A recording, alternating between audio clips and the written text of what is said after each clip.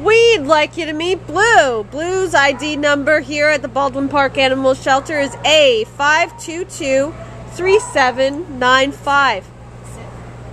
Bleu is an altered gray male pit bull. He's about a year old. He was transferred here to the shelter on September 30th, and he is about 63 pounds. So why don't you take it away from here? You've been spending a lot of time with Bleu. What do you know about him? Bleu is a very special puppy. He is one of the sweetest, kindest souls. He is a bull in a china shop, which is to be expected of a puppy, especially when he's at the shelter and just not getting the exercise he needs.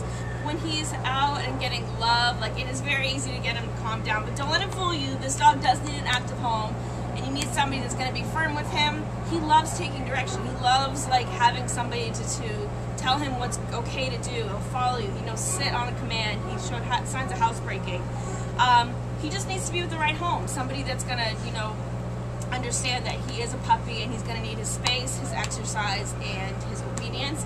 But as you can see, I mean, there's just not a mean bone in this dog's body. He's such a, he just melts right into your arm. He's really playful. I think he'd be good. Um, if there's kids, they just need to be bigger, only because, not because he's not the sweetest thing ever, but as, as I said, he's just a big dude and he could, you know, knock them over not thinking.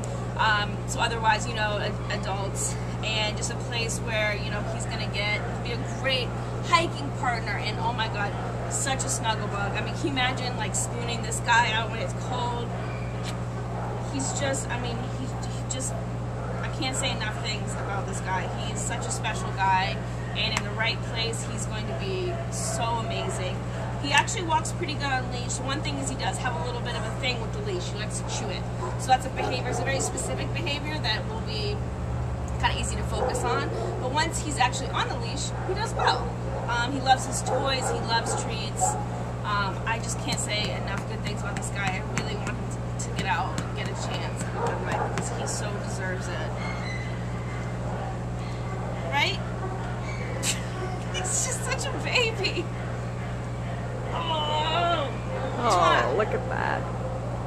I just Uh, can't get enough. so come down and get Bleu.